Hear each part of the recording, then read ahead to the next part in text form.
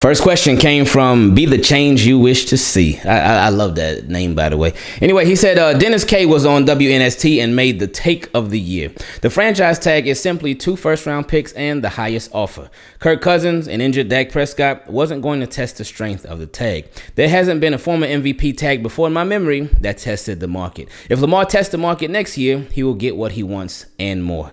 Um, and he said there's also the exclusive and non exclusive franchise tags as well. He said Mama Jackson is the agent of the century. The Ravens are on the clock. And he said, P.S. Love the example you set for black YouTubers. You're a trailblazer and deserve your flowers. Oh, man, I, I, I appreciate that, man. Oh, that kind of caught me off guard. I, I, thank you. Thank you. For real, man. Um, as far as the Ravens, though, they, they can't let it get to the franchise tag. They don't please. I, I I just really hope that they do not let this thing get to the franchise tag. Because in my opinion, and hey, I, I don't have any better football knowledge than anybody out there. Probably my football knowledge is probably worse than a lot of people's out there. But in my opinion, um, if you let it get to the franchise tag for Lamar, like if it's a running back, okay. Okay. Linebacker, okay. Defensive lineman, cornerback, safety, all these other positions. That's one. But if you, especially for Lamar, if you let it get to the franchise tag, to me, in my opinion, what that shows is that you don't know what you have. It shows that you don't believe in him fully. You don't fully believe in your quarterback. That's what that would show me. Because if you fully believe in him, if you really know what you have, if you really know who you have, that franchise tag is not an option. Lamar has given the Baltimore Ravens the deadline. Hey, hey, before the season starts, we want the deal. We want the deal done. After the season starts, I ain't talking no more. And that's as clear as a negotiation as it can be. And that's really ultimatum like, hey, either we either get this thing done or we don't. Either we take care of this now or we won't. You don't want it to get there. And, and you've had time. And again, we, we know it takes two. It takes two to tango. So there's Lamar Jackson and the Ravens, and they both got to come together. And they literally both got to come together since Lamar, he ain't got no agent representing him. So he goes into these contract negotiations himself with him and his people directly. So if the, the, the Ravens, they got to come with it, man. They got to come with it because you do not, you do not want this thing to get ugly. You don't. And Lamar Jackson has continued to, to do all the right things, to say all the right things. He he hasn't been holding out. He ain't even been holding in. And he could. We we've seen players do it. We've seen quarterbacks do it.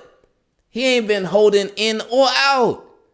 He just been showing up, going to work, participating, continuing to be actively involved with everything the Baltimore Ravens do. So they better not let it get ugly. Yeah,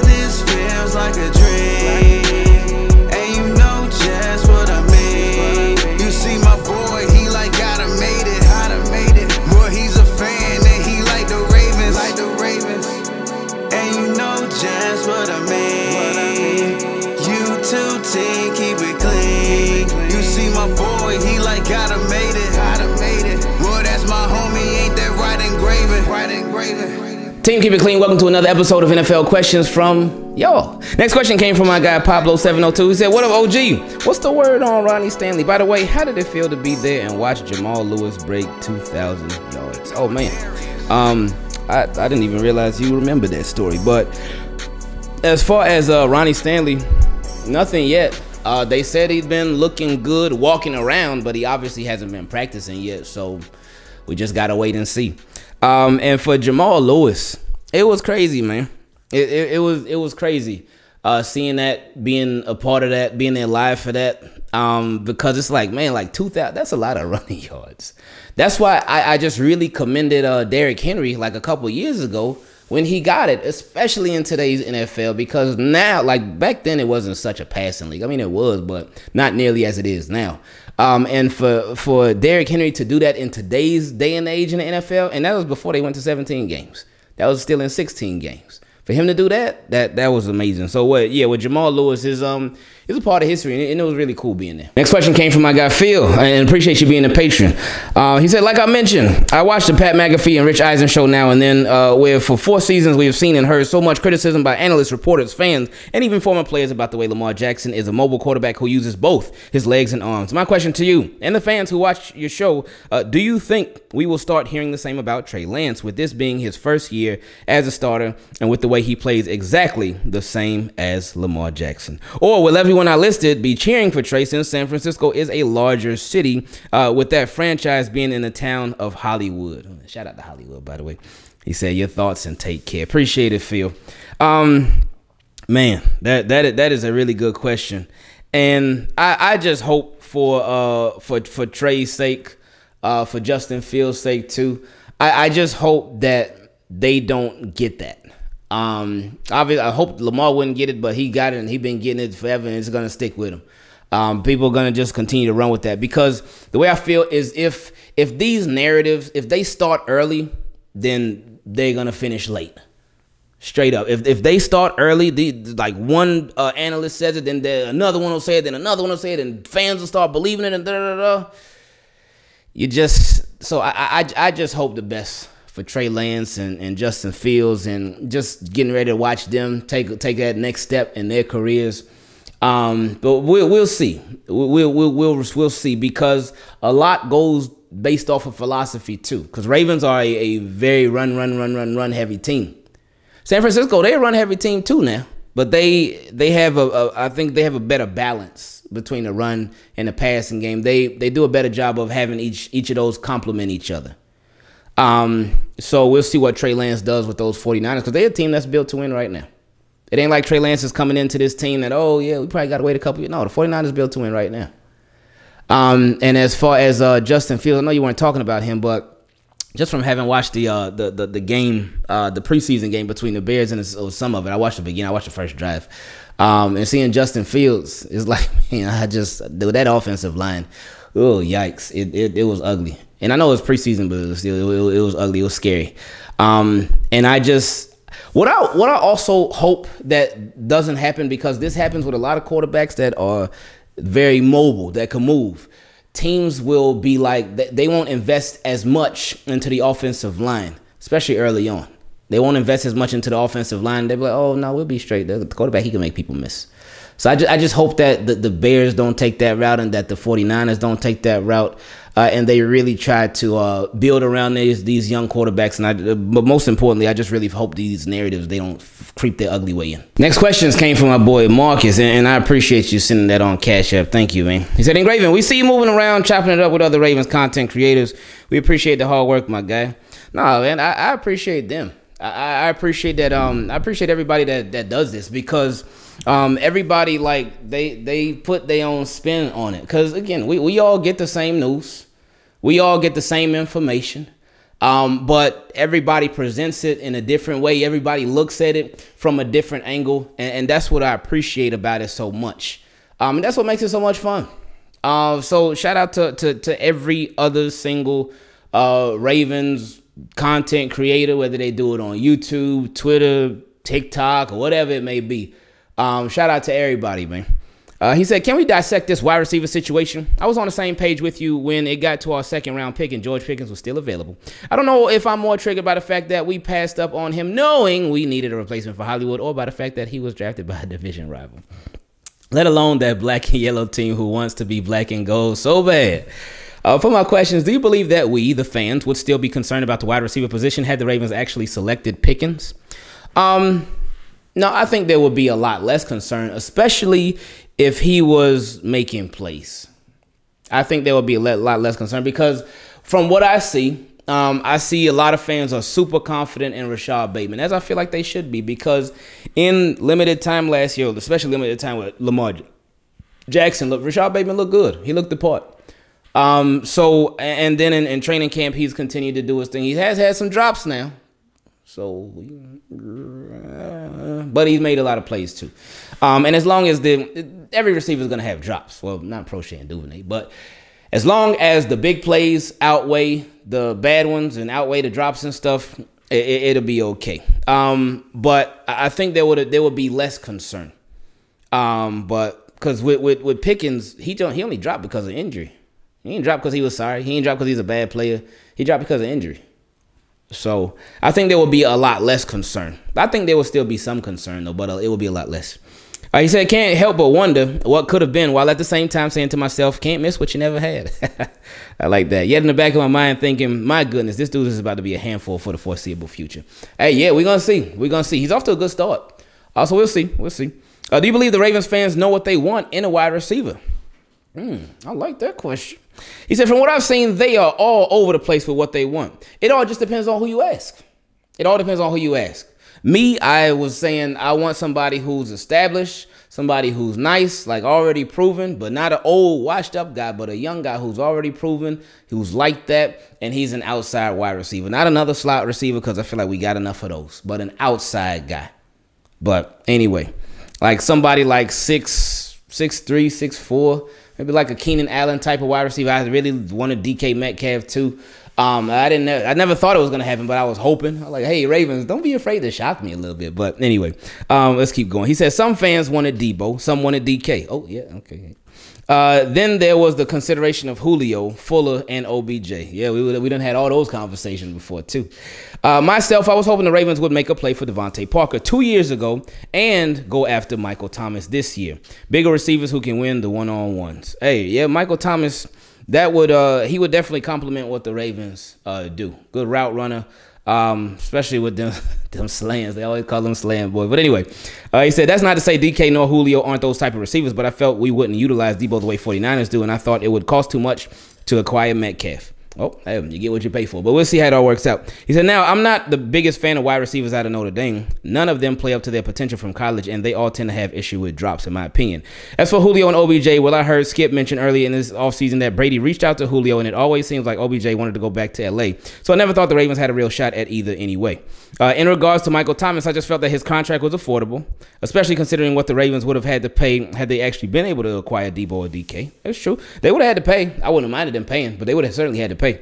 Um, second, I felt that because he hasn't played in two years, the Saints' asking price couldn't be too high. Third, the guy is still so young. Fourth, this dude can't be guarded and doesn't drop anything. Fifth, his mentality demeanor screams Raven to me. He seems quiet, but you can tell he has that Marcus Peterson. Oh no, quiet. Uh, um, Mike Thomas, no, he ain't quite That boy be running his mouth, man. Uh, but yeah, so he said, uh, you know exactly what I mean. Oh yeah, yeah, yeah. I, I feel you on that Marcus Peters part. I never thought about that with Michael Thomas, but yeah. Cause he he'll he'll run his mouth, man. Um, he said, of course, it all depends on his health. But was that not the case with all the other wide receivers mentioned earlier? Well, not DK Metcalf. Um, but with all the other guys, Julio, yeah, OBJ, yeah, Will Fuller, yeah, Deebo Samuel, yeah. So yeah, I feel what you're saying on that. Next, he said, Do you believe Keith Williams serves any other role on the team regarding the wide receivers other than development? And this brings me to my overall point. I'm starting to believe that the Ravens don't look to Keith Williams' help with scouting wide receivers, but only to develop them, which is a head scratcher in itself. So while we can still blame Easy E, Eric DeCosta, for his selection of wide receivers or lack thereof, but I'm ready to start looking more at the scouting department because correct me if I'm wrong, but wouldn't he have relied on whoever is scouting the wide receivers to say, "Hey, Eric, I know we just lost Hollywood, so Pickens might be pretty good replacement opposite Rashod." It, well, you got to think though. You got to think philosophy now. Think about where the Ravens' value is on the team and I mean, we ain't even got to think about the team, but just on offense. Think about it and look how they drafted and look how they moved. They built up the offensive line, which is great. Good. They kept Ja'Wuan James. They they they re-signed Patrick Mekari, and that was during the season. But they signed Morgan Moses. Uh, they drafted Tyler Linderbaum. Um, they drafted Daniel Faalele. Uh, so they they did some stuff with the offensive line. So it's like, okay, cool. Um, even though they got all right tackles, I don't think they got a left tackle. But anyway, that's beside the point. But um, and then they doubled down at tight end. They drafted two tight ends like pretty much back to back with Charlie Kolar and uh, Kolar and uh, Isaiah Likely. Uh, they drafted another running back, um, and then defensive guys. And then they, they, they, they traded Hollywood away.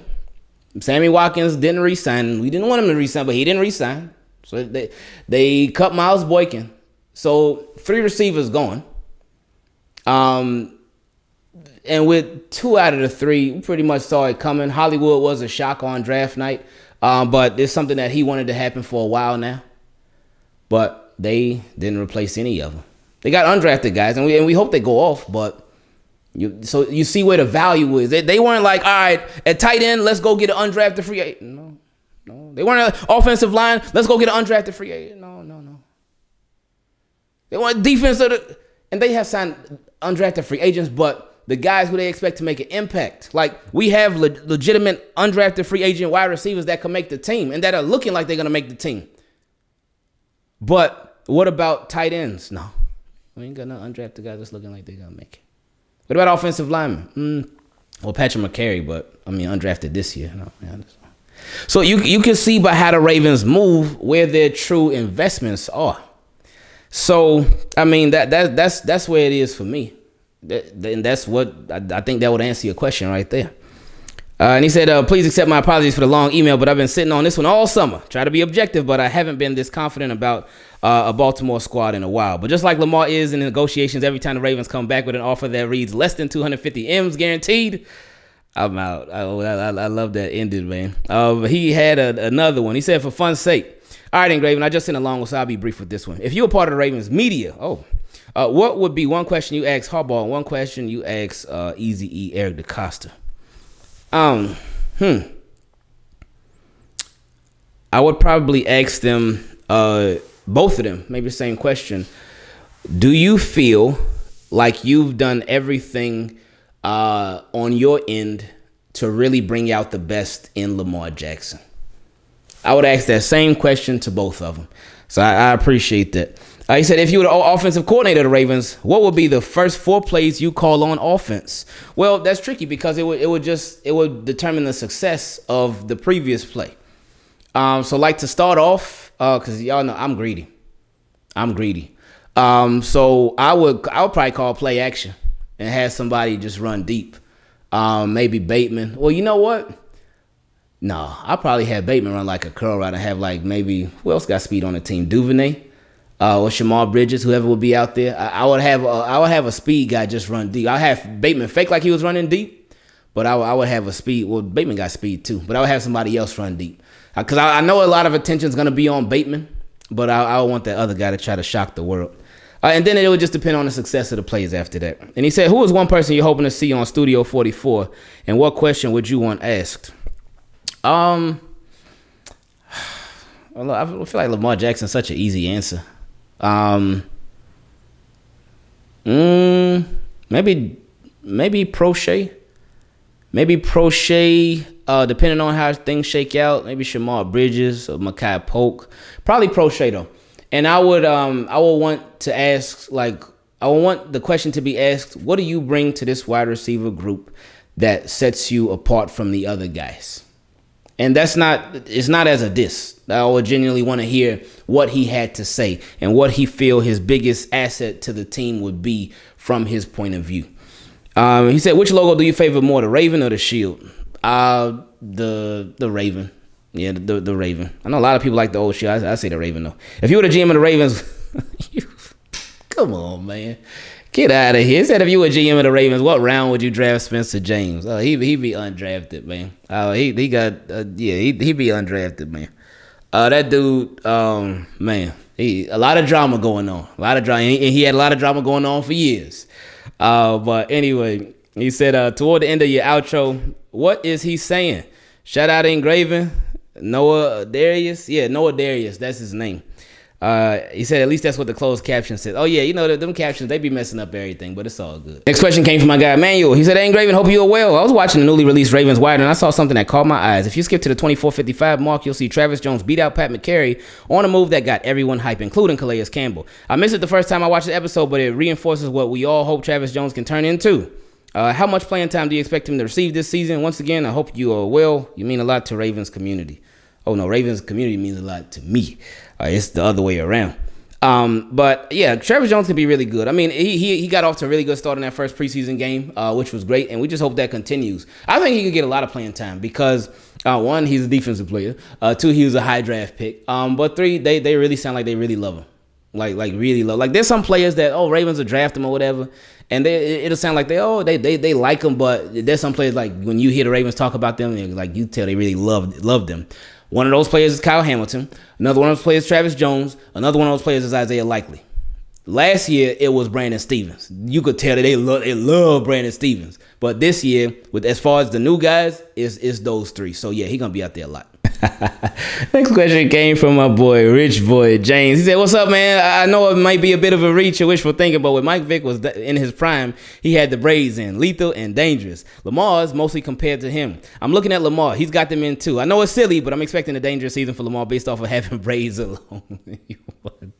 In all seriousness, it's up in the air if Lamar will start the season without a new contract based off of recent interviews. What are your expectations for Lamar this year, and would he hold out? We would think not. Tough season for us last year. AFC Championship appearances would be a win for me.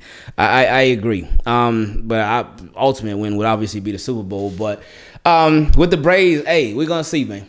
We're gonna see. But I, I think more so with health. With health is gonna be a dangerous season for Lamar uh, and the Ravens. Like as long as they're healthy they they they can rock with the best of them. And just depending on how things go, in my opinion, in the passing game, that could help push them over the top or keep them back. I think that that is the biggest factor besides health. That's the biggest factor for me. Um, so we'll we'll see how it goes. Uh, but I, I, don't anticipate Lamar Jackson holding out. I, I, don't. I don't think he'll hold out. He even said he said it last year. I think he's mentioned it this year. No, he didn't. Well, he definitely mentioned it last year. This year he's been kind of like, uh, kind of been like mysterious with it a little bit.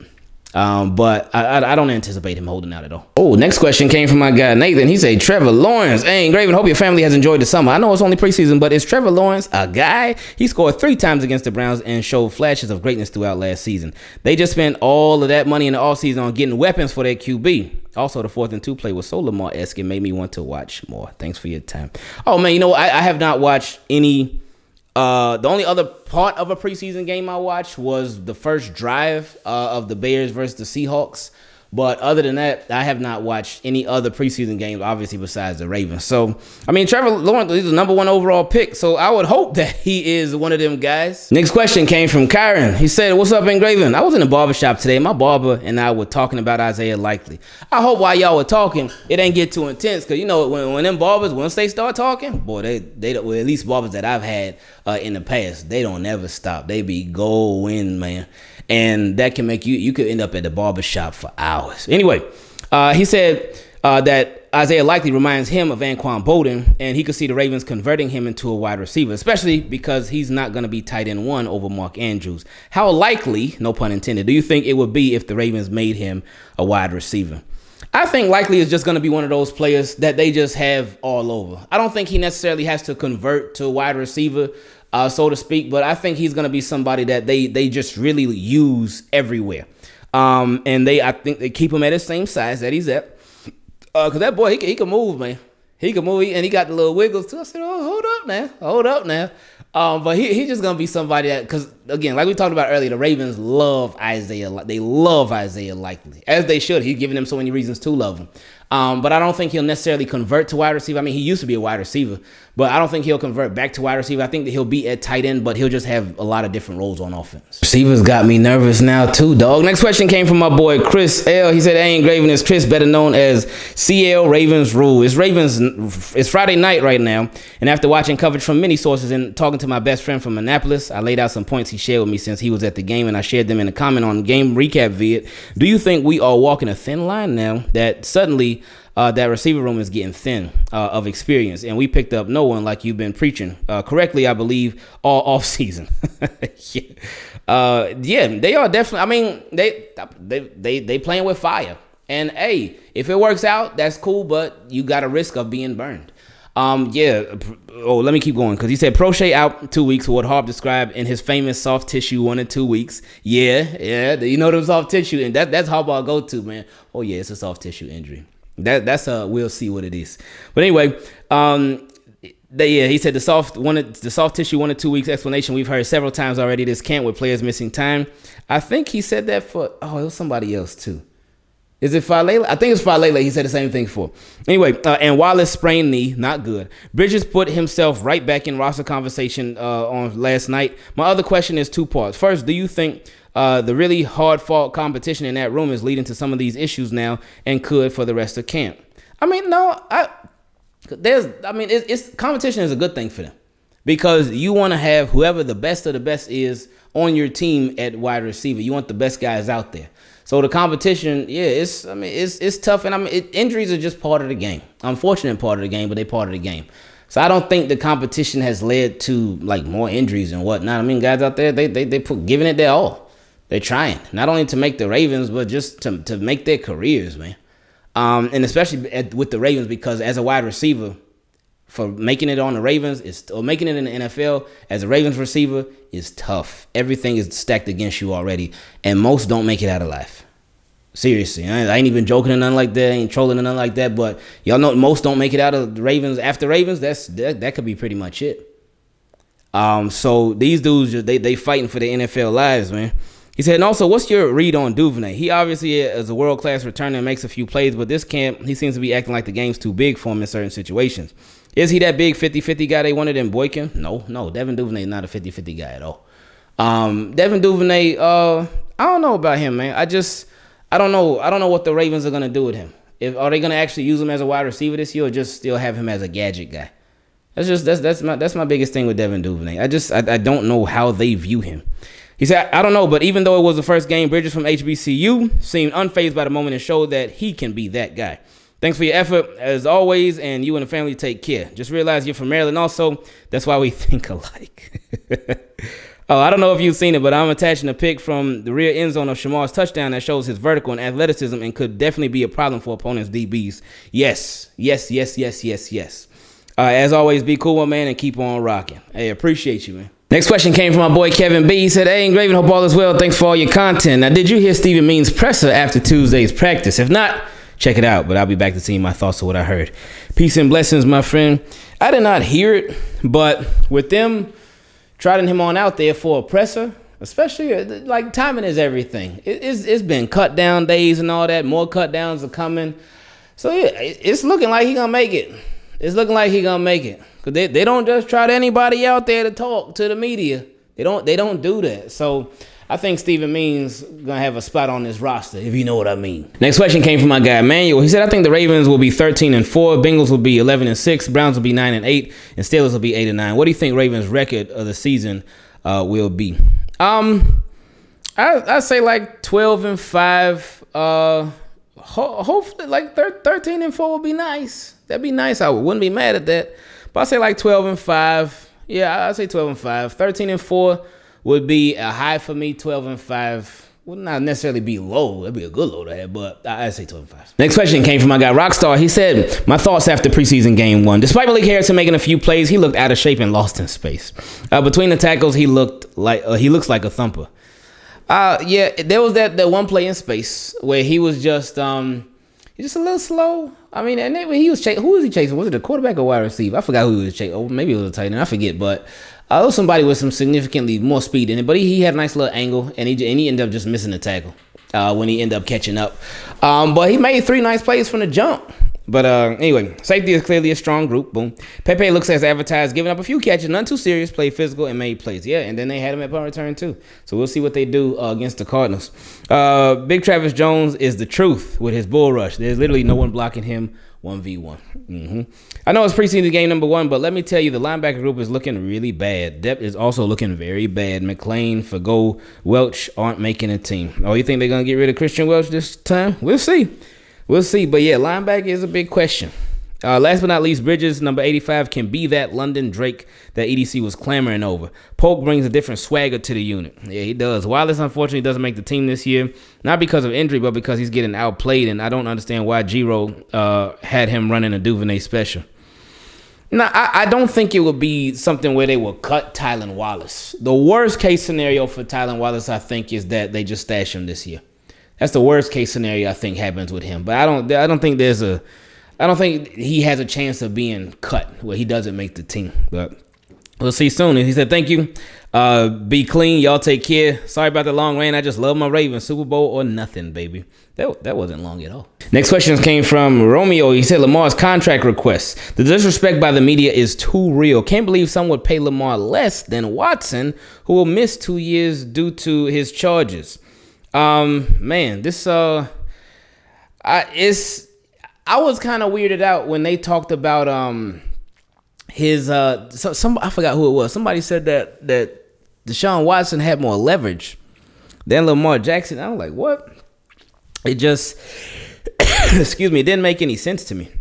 Uh, but anyway, uh, another question he had was um the or comment that he made. The Ravens are listed as among the best fits, the best team fits for Giants wide receiver Darius Slayton. And Darius Slayton, I know he's fallen down the, the depth chart uh, with the Giants. Um, and he uh, so he's and I think he has he either has one year left on his deal or he has one year left after this year, so he would have two years. But anyway, he's at the end of his deal. Um, and he he got some good speed, um, so he could help with that. Uh, I don't know, would he would he really move the needle though? For for me, I just I'll say no. Um, it couldn't hurt to add him, but I just I, I just don't feel like he would just really push the Ravens over the top like that. It, would be nice if he like surprised them, like, oh okay, let's go Darius Slayton. But I just because uh, there been talks about him before amongst Ravens fans and whatnot, but I just kind of been like, oh, okay, whatever. Shemar and Bateman combo. Last question on this episode came from Thomas Gaminson. He said, ain't great when Shemar Bridges is looking good, but I have to say, he's going to have a good shot to be wide receiver three. Ooh. So that's pushing him up on that depth chart. With Proche and Wallace out for now, from undrafted to wide receiver three. How do you like his chances to be that third guy out for the Ravens? Thank you and hope the family stay blessed. Hey, appreciate it. Um, yeah, injuries can change the game, as we know uh, with a lot of experience. Injuries can change everything. They can change the depth chart. They can change depth. They could they change everything. Um, they have provided opportunities for players. They've taken away opportunities for players. So everything depends on health. Yeah, Proche is supposed to be out for a couple weeks. Tylan Wallace still to be determined. We don't know yet. Um, so yeah, that would allow Shemar Bridges to just keep working his way up. So now, now it's all about what he does with this possible opportunity that he could have. Yeah,